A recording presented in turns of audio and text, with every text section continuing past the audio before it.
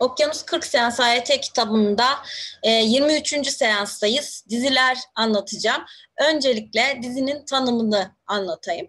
Arkadaşlar e, bu birinci başlığımızda sadece dizinin tanımı e, nedir? Bunu göreceğiz. Dizi özel bir fonksiyon çeşididir.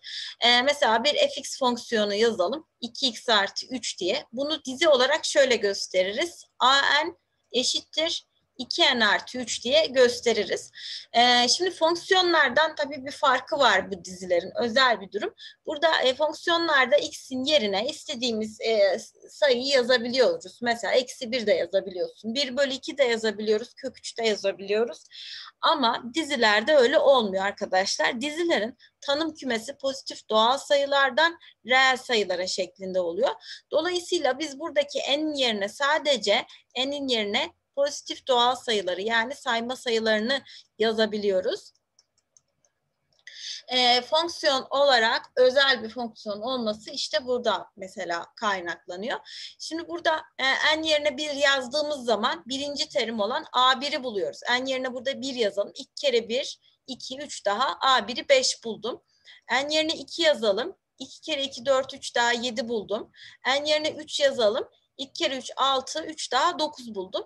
Bu şekilde n yerine 4, 5 yazdıkça e, her bir e, A1, A2, A3, AN terimini buluruz. Şuradaki AN diye gösterdiğimiz e, ifade var ya şu fonksiyona. E, biz dizinin genel terimi diyoruz. Ve bunların sonuçlarının e, A1, A2, A3 bunların sonuçlarının hep bir reel sayı olması gerekiyor arkadaşlar. En yerine yazdığımız değer sonuçta bir reel sayı gitmesi gerekiyor. Genel olarak e, dizi tanımı bu şekilde. E, pozitif doğal sayılardan reel sayılara en yerine 1, 2, 3, 4, 5 yazdıkça A1, A2, A3, A4, A5 diye dizinin terimlerini bulmuş oluyoruz. Şimdi bu başlıkta böyle yerine koymakla ilgili örneklerimiz var. Onları yapalım. Birinci sorudayız. Fn dizisi verilmiş.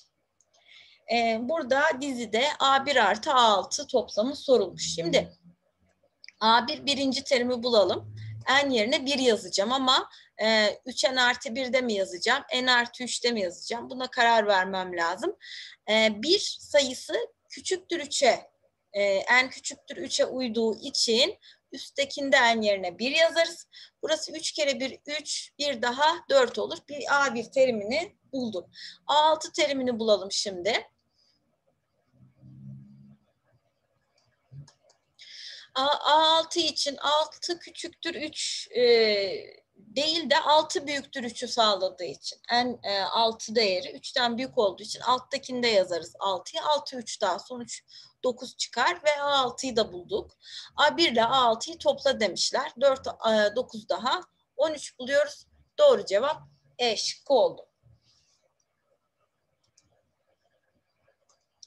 İkinci sorudayım. Fn dizisi 3 üzeri n bölü n faktöriyel diye tanımlanmış. Buna göre diyor ki A4 bölü A3 oranı kaçtır diyor. Şimdi bu oranı bulalım. A4 bölü A3 eşittir diyorum. A4'ü bulmak için en yerine 4 yazıyorum. 3 üzeri 4 bölü 3 üzeri 4 bölü n faktöriyel yani 4 faktöriyel. Ee, A3'ü bulmak için n yerine 3 yazıyorum. 3 üzeri 3 bölü n faktöriyel yani 3 faktöriyel şeklinde oluyor. Bunlarda bölme işlemi yaparken birincisini aynen yazıp ikincisini e, şöyle ters çevirip çarparız. Ve burada sadeleştirme yapacağım. 3 üzeri 3, 3 üzeri 4 ile sadeleşince burada 3 kalır. 3 faktöriyel, 4 faktöriyel ile sadeleşince burada 4 kalır. Buradaki sadeleşmede zorlanıyorsanız TET'deki e, faktöriyel ve üstü sayılar konusunu tekrar edin. 3 bölü 4 buluyoruz. Doğru cevap 5 oldu.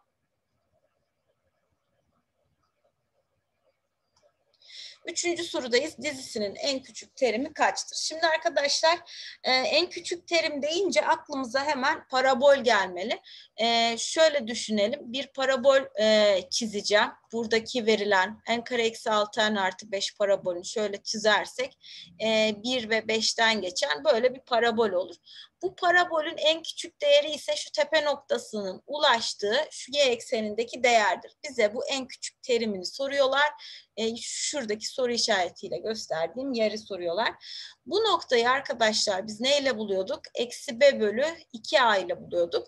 Burada n karenin katsayısı a'yı 1, n'in katsayısı b'yi eksi 6 ve sabit terim c'yi 5 olduğunu görüyorsunuz. Tepe noktası olan r e, diyorduk ya parabolde. Eksi b bölü 2a'yı hesaplarsak eksi b bölü e, şu eksi gibi oldu artı 2a olacak. 2a'yı hesaplarsak B'miz eksi 6. Eksi eksi 6'dan 6 bölü 2A. A'da 1 olduğu için 2 kere 1 2. 6 bölü 2'den ne buluruz? Bu noktayı 3 buluruz. Şu nokta 3'müş. Peki 3 nereye gidiyor? Bunu bulmak için F'de 3'ü hesaplamalıyız. F'de e, 3'ü hesaplıyorum. 3 zaten pozitif bir doğal sayı. 3'ün karesi 9 eksi 3 kere 6 18 bir de artı 5 fonksiyonda yerine yazdım. Bu da ne yapıyor? Eksi 4 yapıyor.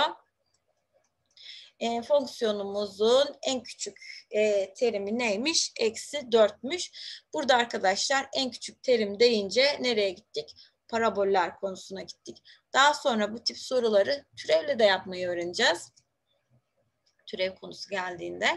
Şimdi buradaki e, yerine koyup terim bulma sorularımızı yaptık. Gelelim ikinci bölüme. Burada da diyor ki ifadenin dizi olması. Arkadaşlar verilen her fonksiyon dizi olmayabiliyor. Fonksiyonlardan aşağıdakilerden hangisi dizidir e, e, diye dizi belirtir diye sorular geliyor veya hangisi değildir diye sorular geliyor. Bunu ayırt edeceğiz şimdi. Bu noktada hemen dizinin tanımını tekrar yazmak istiyorum. Bir e, fn fonksiyonu e, pozitif doğal sayılardan reel sayılara tanımlıydı. Buradaki a n'deki şu n'lerin yerine pozitif doğal sayılar yazdığım zaman sonucun ne olması gerekiyor? Sonuçta çıkan değerin bir reel sayı olması gerekiyor. Peki nasıl olmadığı durumlar oluyor? Bunları düşünelim şimdi. Arkadaşlar e, reel sayı olmadığı durumlar deyince aklımıza tanımsızlık durumları gel gelmelidir. Ne zaman neler tanımsız olur? Mesela sana bir kesirli ifade verildiyse paydanın sıfır olması durumu tanımsız olur. Mesela sana çift dereceli bir kök ikinci dereceden, dördüncü dereceden çift dereceli bir kök verildiyse kökün e, içinin e, büyük eşit sıfır olması gerekir. Küçüktür sıfır olması kökün içi negatif yapan değerlerde ifade ne olur? Reel sayı olmaz, tanımsız olur. Yani sana verilen fonksiyonda sen n yerine pozitif bir doğal sayı yazdın. 3 yazdın, 5 yazdın, 1 yazdın. Eğer sonuç bu şekilde bunlar da tanımsız yaptırıyorsa, reel sayı olmuyorsa o zaman o dizi e, dizi olmuyor. O ifade dizi olmuyor. Başka ne gelebilir mesela? Logaritmalar gelebilir. Logaritma A tabanında B'yi düşün. Buradaki logaritması alınan sayının da pozitif olması gerekiyor. Tabandaki A'nın da pozitif olması gerekiyor. Bu, bunu sağlamıyorsa en yerine koyduğun değer ne yapmaz? Sonuç reel sayı yapmaz ve e, bu bir dizi olmaz. İşte burada örnekler var onlara bakalım. Mesela burada fn dizisi 2n artı 1 bölü n eksi 3 diye verilmiş. Burada hemen ne dikkati çekiyor? Bu dizi olup olmadığını kontrol etmek için paydayı sıfır yapan değere bakmalıyım. Paydayı sıfır yapan değer 3'tür. Ben burada n yerine 3 yazıp a3 terimini hesapladığım zaman 3 kere 2 6 1 daha 7 bölü 0 olur. 7 bölü 0'da elemandır reel sayı diyemeyiz değil mi? Payda sıfır olduğu için reel sayı olmaz. A3 teriminin sonucu reel sayı olmadığı için bu dizimiz ne olmuyor? Dizi olmuyor. Yani bu ifademiz, fonksiyonumuz bir gerçek sayı dizi olmaz demişler. Bunlar da yazmışlar. Peki aynı soruyu şu şekilde verselerdi. Fn eşittir. Yine 2n artı 1 bölü n eksi 3 değil de n artı 3 deselerdi bu dizi olur muydu acaba? Şimdi buna bakalım. N artı 3'ü sıfıra eşitleyip yasaklı olan terimi ne bulacaktım? Eksi 3 koyacaktım. N yerine eksi 3 koyduğumda bu dizi olmaz diyecektim ama ben zaten N yerine eksi 3 koymam ki. Dizinin indisine şu altına koyduğumuz sayılar birden başlar pozitif tam sayılar olurlar. E dolayısıyla burada n'in eksi 3 olması bana bir engel değildir. O zaman bu ifade 1 gizlidir. Yani arkadaşlar senin paydayı sıfır yapan değer eğer e, paydayı sıfır yapan değer e, deki en değeri e, pozitif doğal sayı değilse o zaman sana bir engel teşkil etmiyor. En yerine onu koymayacağız zaten. Biz en yerine koyacağımız sayılar belli. En yerine 1, 2, 3, 4, 5 diye pozitif tam sayılarımızı koyacağız. Eğer ifadeyi tanımsız yapan değer bu kümemizden bir değer değilse, kök 3 gibi bir sayıysa, 1 bölü 2 gibi bir sayıysa zaten bu sayıları biz paydaya koymayacağımız için önümüzde engel değiller. Gelelim ikinci bir örnek var burada. 4 eksi n fonksiyonu e, diyor nedir diyor dizimidir diyor. 4 eksi n'in arkadaşlar eğer ki derecesi küp veya 5. dereceden gibi tek olsaydı bu dizidir derdik. Hiç öyle pozitifmiş, negatifmiş, içi pozitif yapıyor mu diye bakmazdık. Ama derecesi karekök gibi çift dereceli ise işte o zaman tanımsız yapan değer nedir diye bakmalıyım. İçi ne olmalıdır? Büyük eşit sıfır olmalıdır. O zaman 4 büyük eşit n olmalıdır. n 4'ten küçük olaraktan neler olabiliyor? 4, 3, 2, 1 olabiliyor. Ama ben n yerine 5 yazsam, n yerine 6 yazsam, n yerine 7 yazsam ne olmaz arkadaşlar? Sonuç reel sayı olmaz. Gerçekten deneyin n yerine 5 yazın. 4'ten 5 çıktı. Karekök eksi 1 oldu. Karekök eksi 1 reel sayı değildir. Sonuç reel sayı olmadığı için bu görmüş olduğunuz e, ifade karekök içinde 4 eksen ifadesi gerçek sayı dizisi değildir. Bu dizi değil arkadaşlar. İşte bu şekilde. Şimdi buradaki örnekleri de yapalım. Daha da e, öğrenelim iyi şekilde. Birinci soruya bakıyorum. Aşağıdakilerden hangisi gerçek sayı dizisi olabilir? Dizi olmayanlar var burada. Bir tanesi diziymiş. Hangisi dizi ona bakacağım. Şimdi bu rasyonel olunca hemen paydayı sıfır yapan değere bakmalıyım. n eksi 7'yi sıfıra eşitleyince n'i 7 buluyorum. n 7 A7 demek. A7 diye bir şey e, var değil mi bizim dizimizde? 7 pozitif doğal sayı olduğu için var. A7'yi hesaplamaya çalışsam ne olmuyor? Reel sayı olmuyor. Dolayısıyla bu bir dizi olamadı. Ee, bu B şıkkındaki paydaya baktığımda paydada 3n eksi 9 var. Bunu sıfıra eşitlersem 3n 9, n 3 olur. 3 sayısı pozitif doğal sayı olduğu için indise A3 diye yazılabilir. A3'ü hesaplamaya çalışsam sonuç payda sıfır olduğu için reel sayı olmaz. O yüzden bu ifadede bir dizi olmaz. Gelelim C şıkkına. Paydayı sıfır yapan değer n'in 5 olması durumudur. 5 e, pozitif doğal sayı olduğu için indise yazılabilir. A5'i hesaplamaya çalışsam sonuç reel sayı olmaz. Dolayısıyla bu da bir dizi olmaz. E, D şıkkına bakalım. Kökün içi 4n eksi 2n büyük eşit 0 olmalıdır. E, 4 büyük eşittir 2n, 2 büyük eşittir n olmalıdır. n yerine yani ben 2 ve 1 yazabiliyorum. Başka bir şey yazamıyorum. Gelip de 2'den daha büyük A3'ü, A4'ü, A5'i hesaplamaya kalksam kökün içi negatif olacak ve elemandır reel sayı olamayacak. Dolayısıyla bu da bir dizi olmuyor. Gelelim E şıkkına. E şıkkı demek ki bir diziymiş ama bu da bir rasyonel ifade. Ee, bunun neden e, dizi oluyor, neden engel yok onu göstermek için paydasını sıfıra eşitliyorum ve buradan n karenin eksi bir olacak diyorum. Bizim n'lerimiz biliyorsunuz bizim n'lerimizi koyduğumuz küme pozitif doğal sayılar kümesiydi. Bu kümenin içindeki sayılar 1, 2, 3, 4, 5, 6 diye gidiyordu. Hiç bunlardan birisini alıp karesini alsam eksi bir bulabilir miyim?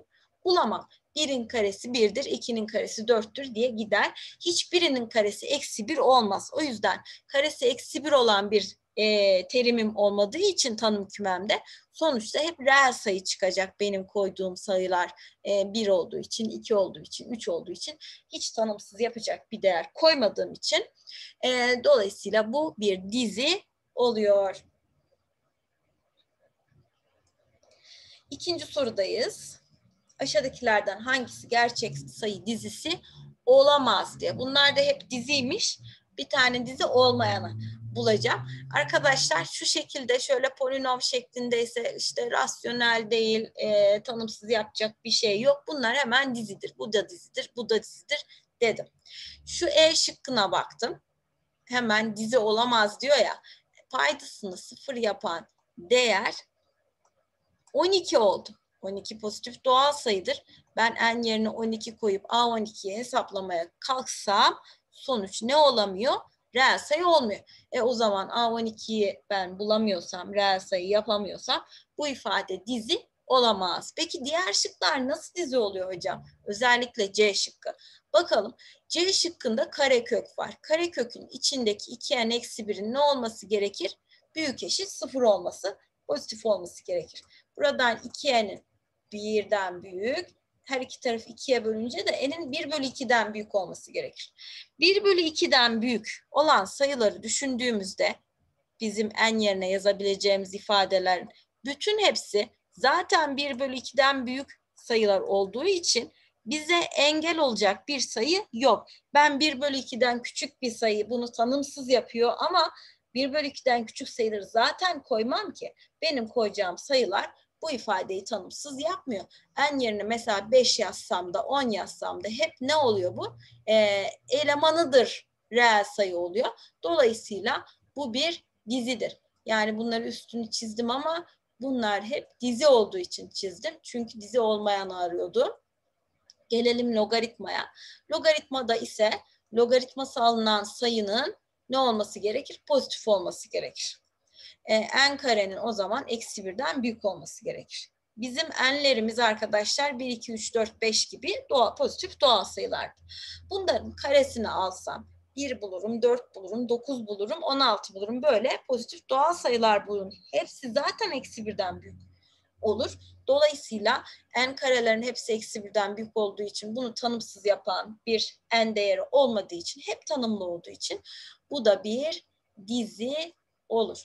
İşte e, dizi olmayanın E şıkkı olduğunu bu şekilde açıkladık. Ve üçüncü sorudayız. Aşağı yukarıda verilen ifadelerden kaç tanesi dizi belirtir diyor. Dizi olanı arıyoruz arkadaşlar. Öncelikle birinci ifadedeki n kare eksi 9 böyle düz polinom ifadeler hemen dizi olur. Bakacak bir şeyim yok burada. Gelelim ikinciye. İkincinin rasyonel olduğunu görünce paydasına bakıyorum. Paydası 2n eksi 3'ü sıfıra eşitliyorum. 2n 3 ise n 3 bölü 2 oluyor. n'in yerine 3 bölü 2 koymam yasakmış. Sakın n'in yerine 3 bölü 2 koyma diyor. E ben zaten koymam ki n'in yerine 3 bölü 2 konmaz ki. Benim koyacağım değerler 1, 2, 3, 4 gibi pozitif tam sayılar. Ben zaten n yerine 3 bölü 2 koymayacağım için bunun tanımsız yaptığı bir durum olmaz ve bu da bir dizidir. Gelelim üçüncüye. Üçüncüsü bir polinom fonksiyon şeklinde 5 eksen şeklinde e, bir ifade. Bunu tanımsız yapan değer hiç olmadığı için bunlar dizidir arkadaşlar. Birinci ile üçüncü gibi ifadeler dizidir. Gelelim dördüncüye. Dördüncüde karekök içindeki n eksi 2'nin büyük eşit sıfır olması, n'in 2'den büyük veya eşit olması gerekir. n'in değerleri 2, 3, 4, 5 gibi değerler olmalıdır. Ama ben biri koyamıyorum o zaman burada. A1'i hesaplamaya çalışsam ne oluyor? Kökün içi negatif oluyor ve reel sayı olmuyor. O yüzden bu ne olamadı? A1 terimi için dizi olamadı. E, ve 4, 5 numaralıya baktım. 5 numaralı da paydamız hemen n-3 sıfır olmamalı dedim. n3 olmamalı dedim. Getirip de n yerine 3 yazıp a3'ü hesaplamaya çalışsam sonuç reel sayı olamadığı için bu da bir dizi olmaz dedim. İlk üçü diziymiş. Kaç tanesi belirtti dizi olarak? Üç tanesi dizi belirtti.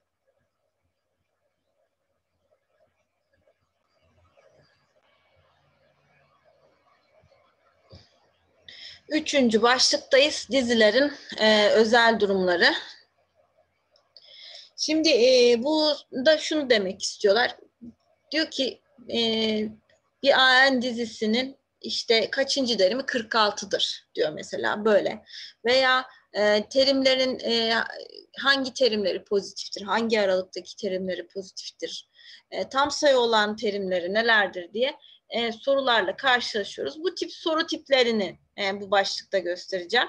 İlk olarak diyor ki dizisinin kaçıncı terimi 7'dir. Hani yedinci terimi kaçtır demek başka, kaçıncı terimi 7'dir demek başka. Yedinci terimi kaçtır dese A7'yi bulurum, N'in yerine 7 yazarım. Ama öyle demiyor. Kaçıncı terimini hesapladığın zaman sonucu 7 bulacaksın diyor. En yerine sen hangi sayıyı yazınca sonuç 7 çıkar demek istiyor burada. Dolayısıyla 3n eşittir 5, 7 daha 12, n eşittir 4 yazdığım zaman A dördüncü teriminin sonucu 7 çıkıyormuş. Kaçıncı terim? Dördüncü terim. İkinci soruda dizisinin kaç terimi tam sayıdır diyor. Şimdi bunun e, en yerine bazı terim e, neler yazacağım? En yerine 1, 2, 3, 4, 5 diye pozitif doğal sayılar yazacağım. Ve bunun sonuçları reel sayı çıkacak. E, ama bazıları tam sayıdır, bazıları değildir. Sonuçta reel sayı çıkacak tanımada uyacak ama bazıları e, tam sayı olmayacak. Biz tam sayı olanları ayıklamak istiyoruz. Bunun için de şöyle yapacağız. Genel terimi şu şekilde yazacağım. En genel terimimiz 2n bölü n. 2n bölü n artı 6 bölü n diye şunu ne yaptım? 2'ye ayırdım. 2 payda ayırdım. Burada n'ler gidince burası 2 artı 6 bölü n oldu mu? Oldu. Şimdi n yerine hangi sayıları yazarsam sonuç tam sayı çıkar? 6'yı bölebilen sayılar yazarsam sonuç tam sayı çıkar değil mi?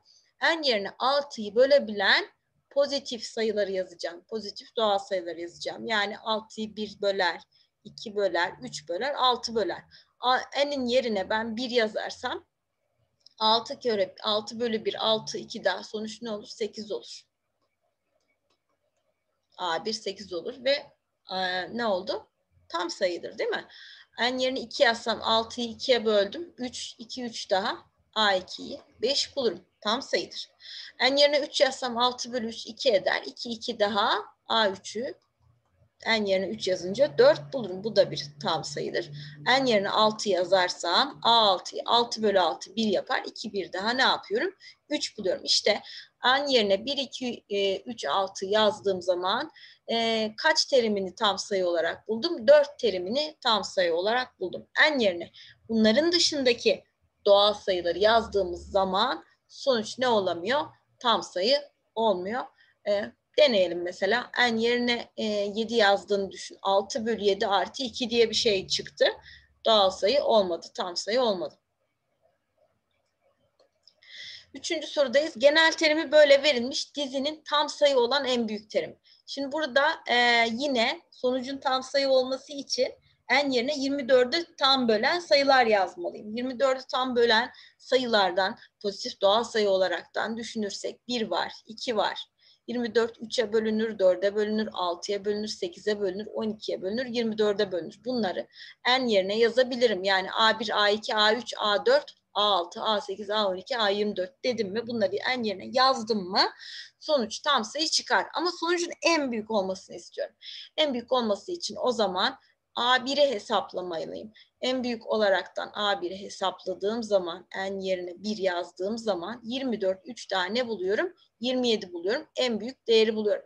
Eğer bana en küçük değerini bul deseydi o zaman A24'ü hesaplayıp en yerine 24 yazmalıydım ve ifade şöyle olurdu. 3 artı 24 bölen 3 artı 24 bölü 24 olurdu. Bu da 3 bir daha 4 olurdu. En küçük değer e, sorulsaydı cevap 4'tür derdim. En büyük değer sorulduğu için cevap 27 oldu. Bu başlıkta böyle. Dördüncü başlıkta ise sonlu dizi, sabit dizi diyeceğiz. Şimdi arkadaşlar K1 tam sayı olmak üzere bir dizinin ilk K teriminden oluşan diziye sonlu dizi denir. Mesela dese ki sana A1, A2, A8 böyle 8 terimli bir dizi var. Bu bir sonlu dizidir diyebilirler. 8 terimle sınırlandırabilirler. O zaman senin dizinin sadece bu 8 terim için e, tanımlı olması yeterlidir. A9'u yazdığında sonuç reel sayı çıkmasa da olur. A9'u veya A10'u yazdığında sonuç e, reel sayı çıkmıyor mu hocam? Tanımsızlık oluşuyor hocam. Olsun sana zaten A8'e kadar sınır koymuşlar bu e, şartlarda, bu aralıkta tanımlı olsun yeter demişler. E, sonlu dizi bu şekilde. Sorularda da net göreceğiz. Şimdi burada bir başka diyor ki ilk üç terimden oluşan sonlu diziyi yaz diyor. En yerine bir yazdım, dört buldum. 2 yazdım 10 buldum. En yerine 3 yazdım 18 buldum. A1, A2, A3 terimlerimiz 4, 10, 18 şeklinde 3 terimli bir dizi oluşturdum. Bunun dışında 3 terimli dizinin dışında bir de arkadaşlar başlığımızda sabit dizi vardı. Sabit diziyi biz aslında sabit fonksiyon olarak gördük. Sabit polinom olarak gördük. Hepsinde de aynı şey yaptık. Bu işin içinde sabit dizi varsa bütün terimleri aynıdır. Hepsi 3'tür mesela.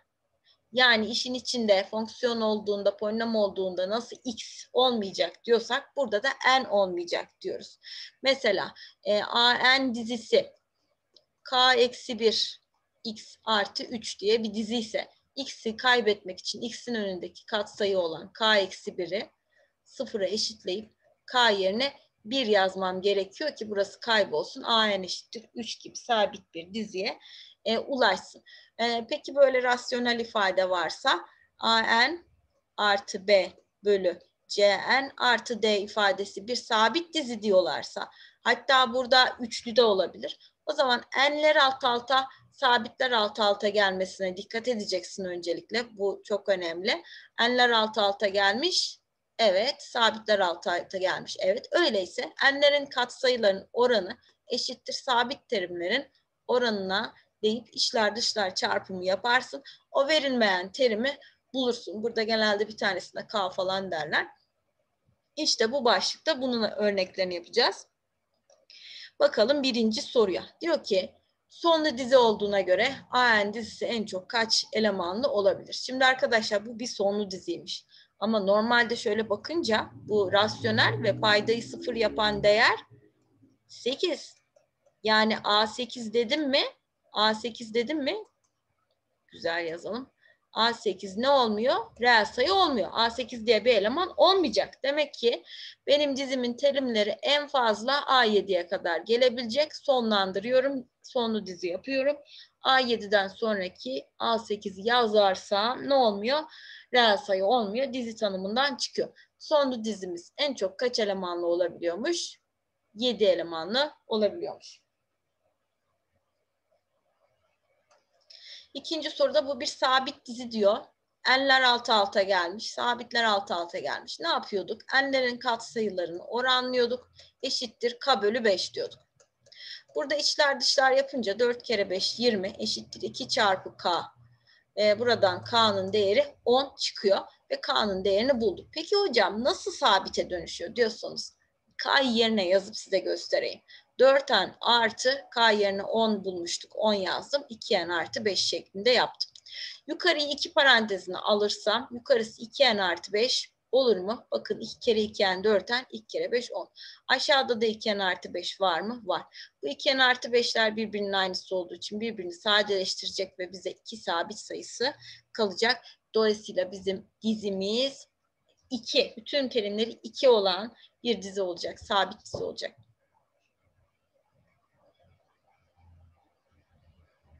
Ve üçüncü sorudayız. Fn bu şekilde bir diziymiş ve nasıl bir diziymiş? Sabit diziymiş. Sabit dizi diyorsa değişkenimiz olan n olmayacak arkadaşlar. n karenin katsayısının sıfırlanması, n'in katsayısının sıfırlanması lazım ki bu terimler gitsin ve sadece 6 kalsın. O zaman n karenin katsayısı olan a eksi 3'ü sıfıra eşitliyorsun. n'in katsayısı olan b artı 1 sıfıra eşitliyorsun. a 3'tür. b de eksi 1'dir diyorsun. A ile B'nin çarpımını sormuşlar. 3 ile eksi 1'i çarparsak eksi 3 buluruz. Doğru cevap D şıkkı oldu.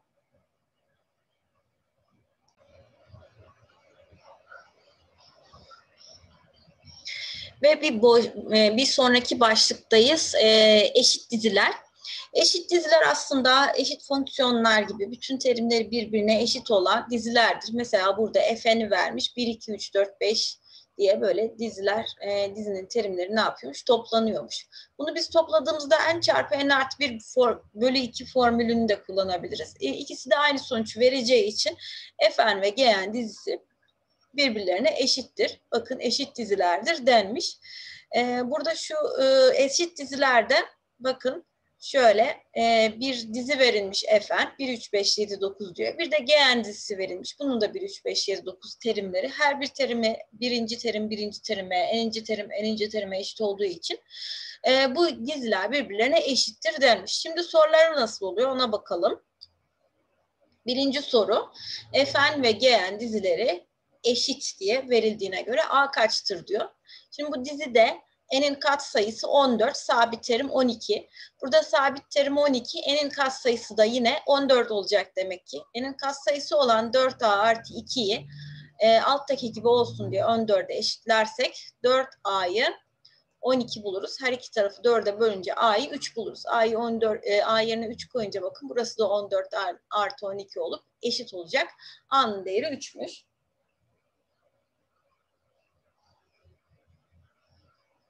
İkinci sorudayız. Fn ve Gn dizileri verilmiş ve bunlar birbirlerine eşit demişler. Burada e, dizilerin şuna dikkat etmelisiniz. N bir tane mi N var? Değilse N'ler bir araya getirilip ortak paranteze alınmalı. Burada N bir tane var ve kat sayısı 5P artı 3. Aşağıda da N bir tane var ve kat sayısı 13. Demek ki 5P artı 3 eşit olacak 13'e. Yukarıda sabit terimimiz 4, aşağıdaki sabit terimimiz ise 5K eksi 1 şeklinde. Demek ki 5K eksi 1 de eşit olacak 4'e. Sabit terimde sabit terime eşit oldu. Ee, buradan 5P 10, P 2 çıkıyor. Buradan 5K 5, K 1 çıkıyor. K'yı 1, P'yi 2 bulduk. Bu ikisini çarpmamızı istemişler. Çarpınca 2 buluruz. Üçüncü soruda Fn, Gn dizilerinin eşit olduğu söylenmiş. A kaçtır diyor. Şimdi bu iki dizinin aynı formatta olması için şu dizinin paydasını eşitleyip toplama yapacağım. E, tam sayılıyı e, ki şöyle bileşik kesire çevirirsek 7 çarpı n artı 3 artı a olur değil mi? 7 ile n artı 3'ü çarparsak 7 n artı 7 kere 3 21 artı bir de şu a var a bölü ortak payda n artı 3 n artı 3 e, şeklinde bunu payda eşitleyip topladım. Şimdi bu ikisi eşitse bakıyorum n'in katsayısı 7, n'in katsayısı 7. Bu kısım aynı. Dem, e, aşağıdaki n artı 3 de n artı 3 aynı. Demek ki buradaki sabit terim 3 iken şuradaki sabit terim 21 artı a'yı 3'e eşitlemem gerekecek. Bunu 3'e eşitlersem a 3 eksi 21 yani eksi 18 olur. Doğru cevap C olur. Bu başlıkta böyle.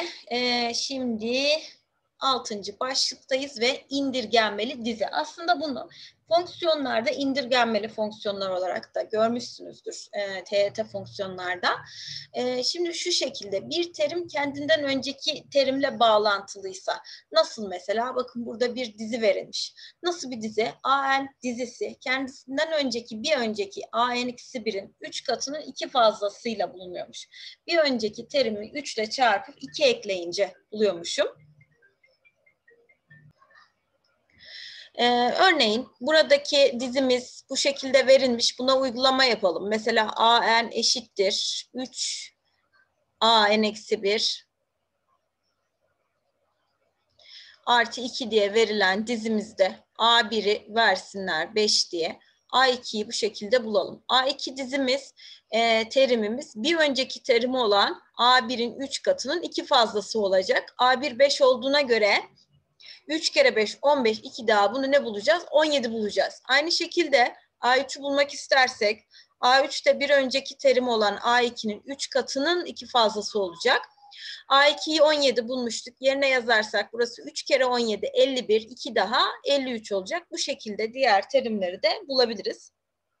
Şimdi buradaki sorulara bakalım. Ee, A1 verilmiş. Ve AN dizisi bu şekilde tanımlanmış. Herkes bir öncekinin bir 3 katının bir fazlasıymış. A2 ve A3 terimlerini bul topla diyor. A2 terimi için şu şekilde yazıyorum. 3 çarpı bir önceki terim A1 artı 1 yani A2'nin bir önceki terimi A1 oluyor. Ee, burada A1 yerine e, yukarıda 2 verildiği için 2 yazarsak A2 terimi 3 kere 2 6 bir daha 7 bulunur. Şimdi de A3 terimini bulacağız. A3 terimi de 3 çarpı A2 artı 1 yani kendisinden önceki gelen A2'nin 3 katının bir fazlası. A2'yi de şimdi bir öncekinde 7 bulduğumuz için bu da 3 kere de 21 bir daha 22 bulunur. Bu iki terimi topla demiş. 7 ve 22'yi toplarsak 29 buluruz. Doğru cevap E oldu.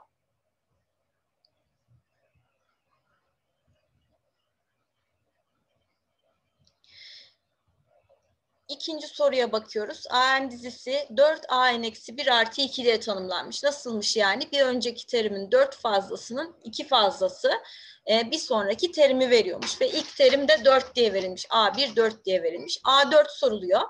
Şimdi A4'ü bulmak için nasıl yapacağım? 4 çarpı bir önceki terim A3 artı 2'yi e, kullanacağım. Ama A3'ü bilmiyorum. O zaman A3'ü bulmak için 4 çarpı bir önceki terim A2 artı 2 yapacağım.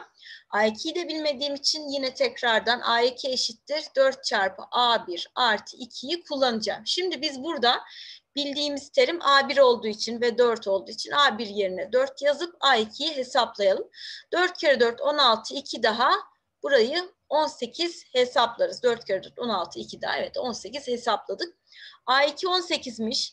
Getirip e, bir üsttekinde A2 yerine 18 yazarsak burası 4 kere 18 72 2 daha 74 olur. Şimdi artık A3'ü de bulduk. Getirip A3 yerine de 74 yazacağız. 4 kere 74 e, 296 yapar. 296 2 daha 298 yapar. İşte A4'ü bu şekilde e, bulmuş olduk. Şimdi arkadaşlar ben böyle A20'yi sorsam hepsini hesaplayacak mıyım diye düşünüyor olabilirsiniz. Veya A200'ü falan sorsalar çok büyük bir e, terim, indisli terim sorsalar hepsini tek tek bulacak mıyım? E, birbirini götüren indirgenmeli diziler var. Şimdi e, bakın öyle bir örnek koyulmuş buraya. Ee, böyle bir örnekte ne yapacağız? A18'i sormuş. Tek tek birden 18'e kadar her bir terimi bulacak mıyım? Şimdi A n artı bir bir önceki terimin bir fazlasıymış. Yani A18 aslında A17'nin nesiymiş? Bir fazlasıymış. Bu e, birbirini götürmelerde genellikle e, katsayı olmaz. Bakın bir önceki terimdeki AN'de hiç 4 kat, 5 kat bir katsayı yok. Ama önceki soruda bakın bir önceki terimi hep ne yapıyorduk? 4 ile çarpıyorduk. E, şimdi öyle bir şey yok. O yüzden işimiz daha kolay. E, şimdi A17'ye ihtiyaç duyuyorum. A17'de bir önceki terim A16'nın e, bir fazlasıdır. Bir A16'da bir önceki terim A15'in bir fazlasıdır. Bu şekilde devam edip gidersek e, A2'nin ne olduğunu düşüneceğiz. Bir önceki terim A1'in bir fazlası olduğunu düşüneceğiz. Hepsi bir öncekinin bir fazlası. A1'i de biliyoruz zaten. Şimdi biz bu işlemi yaparken arkadaşlar iki taraf birbirini taraf tarafa götürsün diye her iki tarafı taraf tarafa toplarız.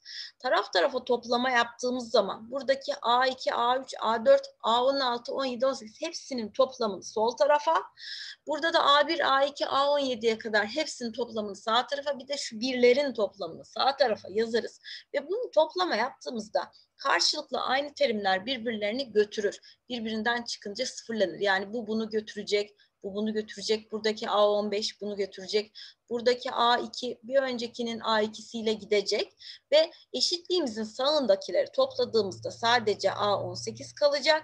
Eşitliğimizin sağındakileri topladığımızda sadece A1 ve çok sayıda 1 kalacak. Peki kaç tane 1 var? Şimdi kaç tane bir olduğunu da e, şöyle bulacağız arkadaşlar. Kaç tane bir olduğunu da şöyle bulacağız. Burada kaç terim var? A18'den A2'ye kadar. 2'den 18'e kadar kaç terim var? Birer birer artıyor. 2'den 2, 3, 4 diye 18'e kadar kaç terim olduğunu bulmak için son terim eksi ilk terim artı 1 yaparsın. Birer birer artıyorsa. Bu da 17, 16 bir daha kaç terim vardır? 17. Demek ki 17 tane 1 var. 17 tane biri toplarsak 17 yapar. Bu şekilde e, bulduk. Şimdi bilmediğimiz A18 kaldı. A1'in değerini verilmiş 7'ymiş. A1'in değerinin 7 olduğunu da biliyorsam 7 ile 17'yi toplarım. A, A1'in değeri nereden çıktı 7 ya? Orada 6 yazıyor aşağıya 7 diye geçirdim. Hemen düzeltelim. A1'in terim burada 6 diye verilmiş yukarıda. A1'in terim 6 diye yerine yazdık. O zaman 6, 17 daha ne bulduk? 23 bulduk. İşte A18'in sonucu neymiş? 23'müş.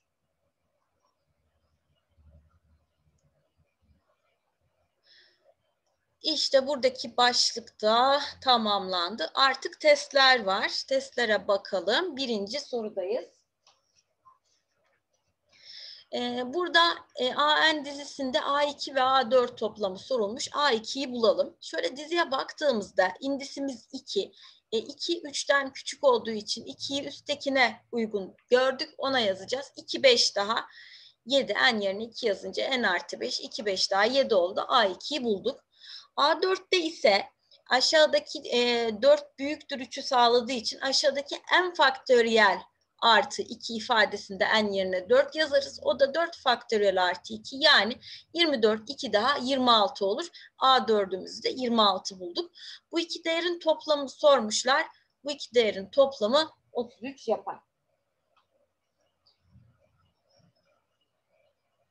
İkinci sorudayız. Böyle bir dizi verilmiş e, dizide A1 ve A7 soruluyor. A1'i hesaplamak için n yerine 1 yazarız ve logaritma 3 tabanında e, burada 1 yazarsam 1, 2 daha 3 yapar. 3 tabanında 3 bulurum ki bu da ne yapıyordur? İkisi de 3'e 3 aynı olduğu için 1 yapıyordur. A7'ye bakıyoruz şimdi de. Logaritma 3 tabanında n yerine 7 yazarsak bu kez 7, 2 daha ne buluruz? 9 buluruz. Logaritma 3 tabanında 9 da 3 tabanında 9'daki 9'u yazmayayım. Onun yerine 3'ün karesi yazayım. E, ve 2 öne düşünce bu da 2 çarpı logaritma 3 tabanında 3 olsun. Burası 2 kere 1 ne yapar? 2 yapar. İşte A1'i e, 1 diye bulduk. A7'yi de 2 diye bulduk. Bu ikisinin toplamı 3 yaptı. Doğru cevap E oldu. Üçüncü soruda bir dizi verilmiş. Hangi terimi 7 bölü 3'tür diyor. Yani en yerine hangi sayı yazarsam sonuçta 7 bölü 3 bulurum diyor. Demek ki bu dizimizin e, en yerine ne yazacağımızı bilmiyoruz. Bu dizimizi 7 bölü 3'e eşitleyeceğiz. Kesinlikle en yerine 7 bölü 3 falan yazmayacağız. Kaçıncı terim 7 bölü 3'tür diye sorulduğu için dizimizin sonucunu 7 bölü 3'e eşitleyeceğiz. Ve burada içler dışlar yapıyorum. 3 ile 2n'yi çarptım 6n. 3 ile 3'ü çarptım 9. 7 ile n'i çarptım 7n. 7 ile 1'i çarptım 7. E, 6n'den 7n'den 6n çıktı. Buraya n geldi. 9'dan da 7 çıktı. Burada 2 kaldı. n'leri sağa e, topladım sayıları sonra n2 bulduk. Demek ki A2 yani ikinci terimimiz 7 bölü 3'e eşitmiş. Dördüncü soruda dizinin kaç terimi 4'ten küçüktür? Şimdi arkadaşlar bu dizi, dizide en yerine belirli bazı sayılar yazacağız ve bu yazdığımız sayılar sonucunda e, bir sayılar hesaplayacağız. Birer sayılar sonuçlar çıkacak. Bu sonuçların 4'ten küçük olmasını istiyorum. Demek ki e, en yerine yazdığımız ifadedeki sonuç olan şu değerin ne olması gerekecek? 4'ten küçük olması e, geçe, gerekecek. Burada ne yapalım? Önce içler dışlar yapalım. E, 4n artı 4 diye. Sonra n'leri bu tarafa alırsam n 5n'den ee, 4'ten çıktı n. 4'ten 1 çıktı 3. n'in 3'ten küçük olması gerekiyor. Bir de e, biz biliyoruz ki n pozitif doğal sayı olduğu için n küçük 1 olabilir. Sonra 2 geliyor. 3'ten küçük sadece bu ikisi sayıyor. Demek ki A1 ve A2'yi e, hesaplarsam sonuç 4'ten küçük çıkacak. Yani sadece iki terimi bu durumu sağlıyor. Ve beşinci sorudayız. Böyle bir dizi verilmiş. Bu dizi sabit dizi. Diyor. Sabit fonksiyon dese de, sabit dizi dese de, polinom dese de ne yapıyorduk? N'li, x'li, değişkenli terimlerin katsayılarını sıfır yapıp o terimleri yok etmeyi amaçlıyorduk. Burada n karenin katsayısı olan k artı 4 sıfır, n'in katsayısı olan p eksi 7'yi sıfıra eşitlersem bu terimler gider ve bize sadece 6 sabit sayısı kalır ve bu e, dizi sabit diziye dönüşür. Buradan k'yı eksi 4, p'yi 7 buluruz. k ile b, p'yi çarp demiş. Eksi 4 ile 7'yi çarparsak 28 buluruz. Doğru cevap E olur. E, eksi 28 olur. Çok özür tabii ki. E, 4 kere eksi 4 ile 7'yi çarparsak eksi 28 olur. Cevap A şıkkı oldu. Altıncı soruda dizinin en küçük terimi kaçtır diyor. Biz bunlarda ne diyorduk? Bu bir parabol belirtecek ve şu dipteki noktayı bulacağız. Parabolün tepe noktasını bulacağız diyorduk. Bu da parabol bilgisiyle eksi b bölü 2a'nın e, fonksiyonda gittiği yer neyse onu arıyoruz demektir. Eksi b bölü a'yı burada hesaplayalım. Arkadaşlar n karenin katsayısı 1 a'dır. n'in katsayısı eksi 4 b'dir sabit terim C de 15'tir. O zaman eksi B bölü 2A dediğimiz değer e, eksi eksi 4 artı 4 yapıyor eksi B olarak. Bölü 2A da 2 kere 1 2 yapıyor. Nedir bu? 2'dir.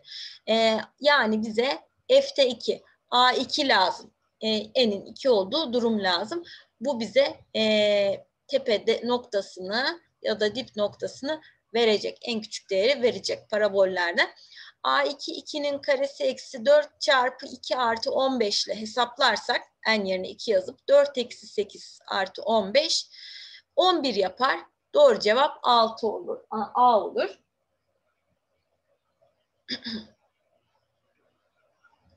Ve yedinci soruda dizinin kaç terimi negatiftir diyor. Şimdi arkadaşlar tabii ki en yerine negatif sayılar yazamıyoruz ama en yerine e, doğal sayıları yazıp pozitif doğal sayıları yazıp hesap yaptığımız zaman şu ifadede sonucu negatif bulabiliyoruz.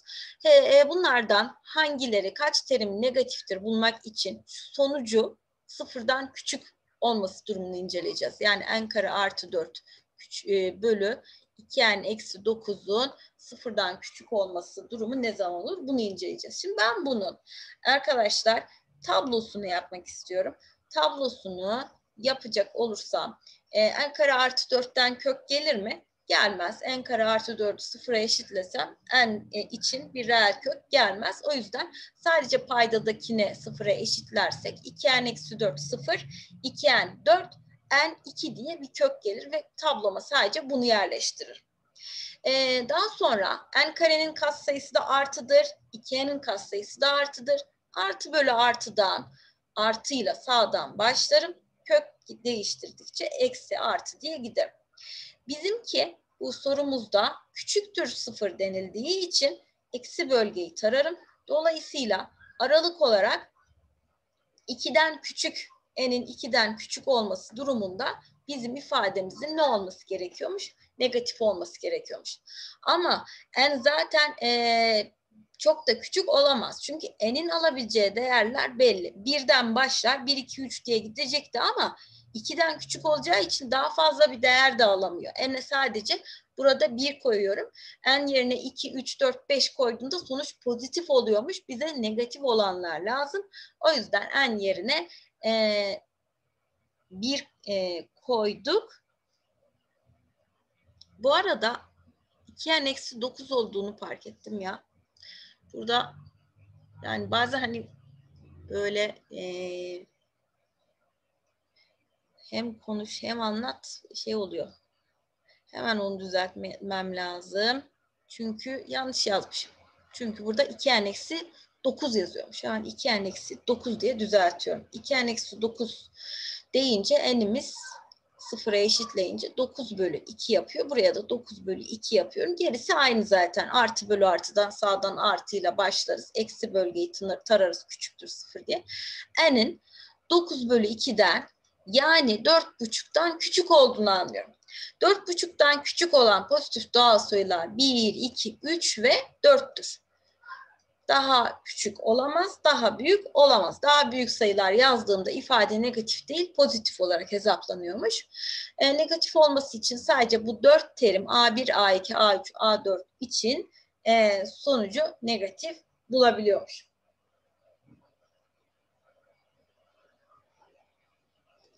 Sekizinci sorudayız. AN dizisi bir önceki terimin dört fazlasıymış. Birinci terim verilmiş, 12. terim soruluyor. Şimdi A12'yi bana sormuş. A12 bir önceki terim alan A11'in dört fazlasıdır.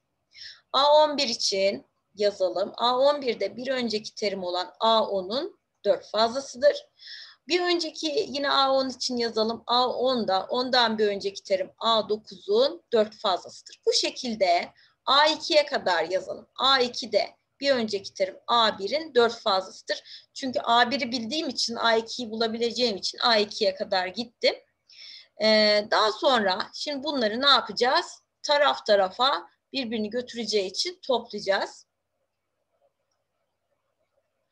Taraf tarafa toplama yaptığımız zaman A11 A11'e A10 A10'u, A9 A9'u bu taraftaki A2 bir öncekiyle A2'yi götürecek ve sol tarafta A12 kalacak.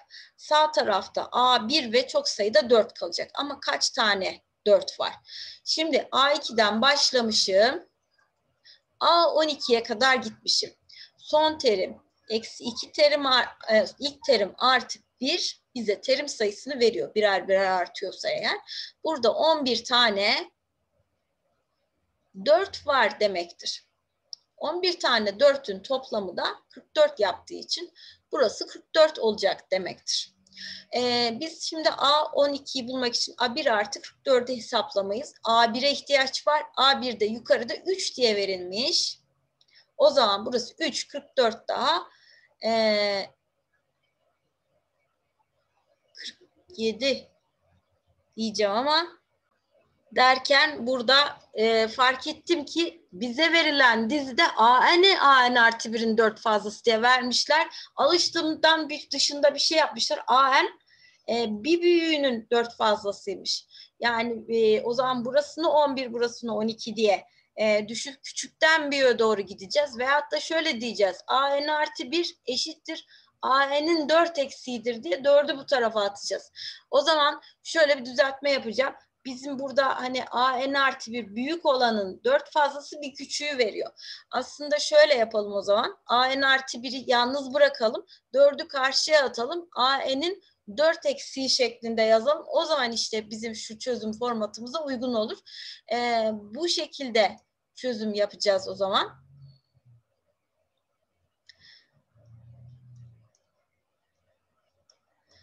E, ben hemen burada AN artı 1 var, burada AM vardır dedim. Hemen e, öyle çözüm yaptım ama e, sonra fark ettim ki AN artı 1'i sola değil sağa yazmışlar. Onu da şimdi fark edince hemen baştan çözüm yapacağım. Şimdi AN artı 1 eşittir e, dedik. AN eksi 4 dedik. Çünkü AN artı 1 burada yalnız bırakıp 4'ü karşıya yolladık. Şimdi bu şekilde çözüm yaparken bize sorulan A12'yi bulmak için A12 eşittir. A12 eşittir. Bir önceki terim A11'in 4 eksiği diye yapıyorum. Aynı şekilde bir önceki A11'de ondan önceki A10'un 4 eksiği A10 deyince de bir önceki A9'un 4 eksiği diye gidecek ve A2 bir önceki terim A1'in 4 eksiği şeklinde ifade edilecek. Yine aynı şekilde bunları taraf tarafa topladığımız zaman soldaki terimleri soldaki terimlerle toplayıp sağdakileri toplayınca bu tarafta A2, A3, A12'ye kadarkiler toplamı. Burada da A11'e kadarkiler toplamını yazdığımda şu e, A11'ler, şu A10'lar, bir önceki terim A9'u, bu A2 buradan bir önceki terimi götürecek ve sol tarafta sadece A12 kalacak. Sağ tarafta ise A1 ve çok sayıda eksi 4 kalacak. Kaç tane eksi 4 kaldığını aslında biraz önce hesaplamıştık. A2'den şuradaki A2'den başladım. A12'ye kadar geldim. Veya bakın şöyle de diyebiliriz. Şu sütuna bakarsak A1'den A11'e kadar gelmiş. A1'den A11'e gel kadar geldiyse 11 tane eksi 4 var diyebilirim yani zaten 1, 2, 3, 4, 5, 11'e kadar sıralı verilmiş. 11 tane eksi 4 de ne yapar? Eksi 44 yapar. Şimdi A12'yi bulmak için A1'in yerine değeri olan 3'ü yazarsak e, A12 eşit olur 3 eksi 44 yani eksi 41 olur. Doğru cevap B şıkkı olur.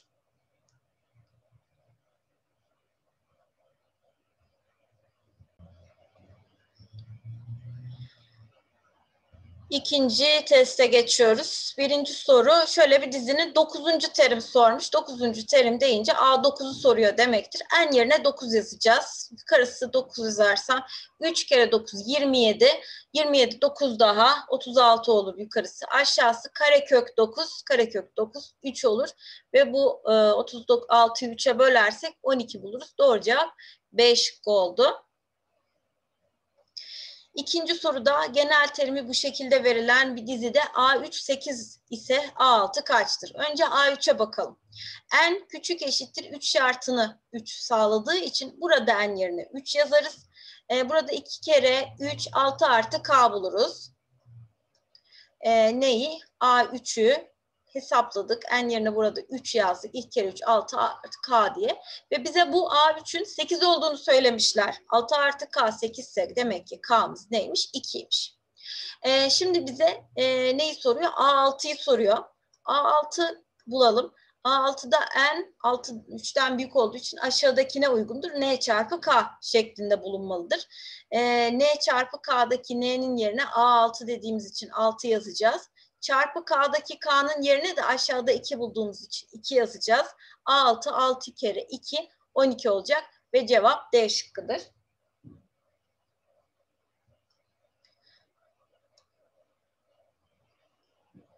Üçüncü sorudayız. Dizisinin altı, ilk altı terimin çarpımı sorulmuş. Yani arkadaşlar ilk altı terim A1, A2, A3, A4, A5 tek tek alt A6'yı bulup çarpacağız arkadaşlar. A1'i ben yerine 1 yazarak koyuyorum. 2 kere 1, 2, 1 daha 3 bölü 1 koyuyorum. 2 kere 1, 2, 3 daha 5. Şimdi 2 koyalım en yerine. 2 kere 2, 4, 1 daha 5 bölü 2 kere 2, 4, 3 daha 7. 2 koymuştuk. Şimdi 3 koyacağız. 2 kere 3, 6, 1 daha 7 bölü. Aşağıda 3 koy. 2 kere 3, 6, 3 daha 9. Bakın dikkat ederseniz 5'e 5, 7'ye 7 birbirini götürecek şekilde geliyor. O zaman biz son terimi bulalım. 6. terimi. En yerine 6 koyalım. 2 kere 6, 12, 1 daha 13 bölü 2 kere 6, 12, 3 daha 15 diye bunu da bulduk. Şimdi araya nokta nokta koydum. Çünkü birbirini götürecekleri anlaşıldı. Şöyle çapraz olarak bir önceki bir sonrakini götürdüğü için yukarıda 3 aşağıda 15 kaldı. 3 ile 15 sadeleştirilirse e, 1 bölü 5 olur. Doğru cevap E şıkkı olur. Dördüncü soruda hangisi bir gerçek sayı dizisidir diyor arkadaşlar. Dizi olup olmamalarını ayırt ed ediyoruz. Şimdi bunun e, bir kesirli ifade olduğu için paydasını sıfır yapan değer e, baktığımda sıfıra eşitlersem n eksi 3'ü n 3 çıkar. A3 ifadesi için bunun sonucu ne yapmaz? Tanımlı olmaz, tanımsız olur, reel sayı olmaz. A3'ü bulamadığım için bu ne olmadı? E, reel sayı olmadı. Burada da tanjant n derece diyor. Yani ben tanjant e, tanjant 1'i, tanjant 2'yi hepsini hesaplarım ama tanjantta n yerine 90 yazdığım zaman tanjant 90 1 bölü 0 kosinüs e, 90 0 olduğu için 1 bölü 0'dan ne olur? Reel sayı yapmaz, tanımsız olur. Dolayısıyla burada A90 ifadesi için tanımsızlık ile sonuçlandığı için bu bir gerçek sayı dizisi olmaz. Gelelim buna. Şimdi n yerine e, arkadaşlar A1, A2, A3 diye terimler yazdığım zaman en yerine 1 yazdığımı düşünsenize ne oluyor bu? 1 eksi 5 eksi 4 faktöriyel diye bir şey oluyor. Bu da faktöriyel tanımının dışına çıkıyor. Negatif sayıların faktöriyeli olmuyor değil mi? 4 faktöriyel dese olurdu. Dolayısıyla bu da e, 5'ten küçük en değerleri için e, ne yapamıyor? Gerçek sayı olmuyor. E, şu zaten bir polinom fonksiyon şeklinde olduğu için hemen bunda bir e, sakınca yoktur. Bu dizi olur deyip işaretleyebiliriz. Şunun da dizi olmama nedenini gösterelim. 3 eksen büyük eşit 0 olmalıdır. n e, küçük eşittir 3 olmalıdır. E peki n 3'ten küçükler için tamam da n yerine 3'ten büyük de, değerler versem mesela a5'i hesaplasam sonuç reel sayı oluyor mu? Olmuyor. Dolayısıyla bu da o yüzden dizi olamadı. Beşinci sorudayız. Şöyle bir dizi sabit dizi olduğuna göre K kaçtır? Bu sabit dizi ise şunu dikkat et öncelikle n'ler alt alta mı? Evet. O zaman n'lerin kas sayılarının oranı 9 bölü k eşit olmalı. Sabitlerin oranı k bölü 4'e. İçler dışlar yaparsak 9 kere 4 36 k çarpı k k kare olur. k kare 36 ise k'nın pozitif değeri sorulmuş. k'nın pozitif değeri 6 olur. Altıncı soruda şöyle bir dizi görüyorum. Yedinci terim beşinci terimin kaç katıdır? Bu ne demek? Sen yedinci terimi beşinci terime bölersen yedinci terimi beşinci terimin kaç katı olduğunu bulursun. A7 hesaplamak için burada n yerine 7 yazıyorum ve 2 üzeri 7 eksi 1, 2 üzeri 6 buluyorum. Aşağıda n yerine 5 yazarsak 2 üzeri 5 eksi 1 2 üzeri 4 buluyorum. E, tabanlar aynı üstler çıkarılır. 6'dan 4 çıktı. 2 üzeri 2 ne buluyoruz? 4 buluyoruz. 4 katıymış diyoruz. Yedinci soruda dizisinin ilk 100 teriminden kaç tanesi tam sayıdır? Şimdi arkadaşlar ilk 100 terimini yazmaya çalışsak A1, A2, A3 diye yazarız ilk yüz terimi A yüzle sonlanır. Bunlardan hangisi tam sayıdır diyor. Mesela A1 yazdığını düşün 1 bölü 44 tam sayı değil. Demek ki bizim enimiz yani indisimiz 44'ün katı olmalı. Yani A44'ü bulduğumu düşün. A44 ne oluyor? 44 bölü 44'ten 1 oluyor. 44'ün iki katı A88'i bulduğumu düşün. 88 bölü 44 oluyor ve 2 oluyor. Tam sayıyla sonuçlanıyor. 44'ün başka katı var mı? Birden 100'e kadarki aralıkta. Yok. 44'ün 3 katı desem 100'den büyük olur. 100'e kadarkiler sorulmuş. Kaç tane? 2 tane bu şartı sağlayan terim bulduk. Ve 8. soruda efendisi böyle verilmiş 27. terimi şu dizinin kaçıncı terimine eşittir diyor. 27. terimini bulmak için A27'de n yerine 27 yazıyorum ve burası 3 üzeri 27 bölü e, n yani 27 oluyor. E, AN dizisini şu ilk diziyi bir hesaplıyoruz fn'i yani. 3 üzeri 27 bölü 27 yerine 3'ün küpü yazıyorum ve tabanları aynı üstler çıkarılır. 27'den 3 çıktı. 3 üzeri 24 buluyorum. A27'nin değeri A27'nin değeri eşitmiş 3 üzeri 24'e. Bana demiş ki 3 üzeri n şeklinde bir diziye bunu eşitlersem n kaç olur? Hangi terime karşılık gelir? n gördüğünüz gibi tabanlar eşitken üstler de eşit olduğu için 24. terime karşılık gelir ve cevap e